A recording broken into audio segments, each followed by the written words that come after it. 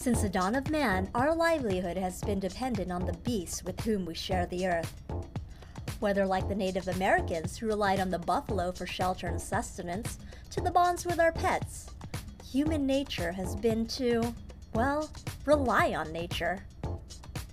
For Dr. Jeffrey Karp, his approach to the animal kingdom has inspired creative biomaterials that improve how humans heal. Known as biomimicry, scientists like Karp use inspirations from nature to develop solutions to medicine's perplexing challenges. We often spend a lot of time um, visiting zoos, visiting the aquarium, um, looking into the literature or the popular press um, for uh, examples in nature that can potentially provide inspiration um, to help us in the development of solutions uh, to really tackle important medical problems and there's a number of, um, of, of, examples in nature that we're currently pursuing uh, to develop next generation uh, circulating tumor cell chips as well as next generation adhesives. Among Dr. Karp's many inventions, there's a microchip that captures rare cancer cells, viruses, and bacteria in blood that's inspired by a jellyfish's long, sticky tentacles.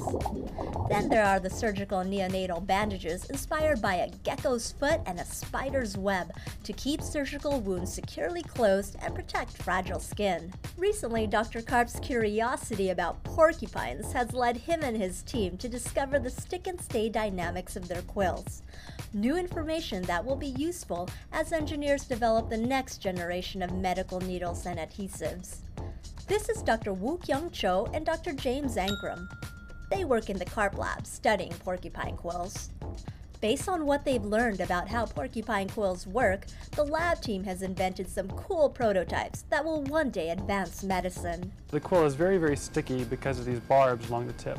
So we envision to use this uh, to fix hernia meshes. So when a patient has a hernia and they have a hole in their abdomen, a doctor needs to place a mesh over it to uh, re uh, restore that barrier. And so we make patches with many of these small barbs that can then be used to more effectively secure that mesh in place so it doesn't move and cause pain. The second application area is that these quills can penetrate tissue with very little force and with very little pain. So you can envision making a needle with tiny micron barbs on it that have reduced penetration force which actually causes less pain to the patient. I think that as we try to develop solutions to important medical problems, we often face several barriers, um, some that seem in some ways insurmountable. And I really, I strongly believe that evolution is truly the best problem solver, and we can learn so much from nature.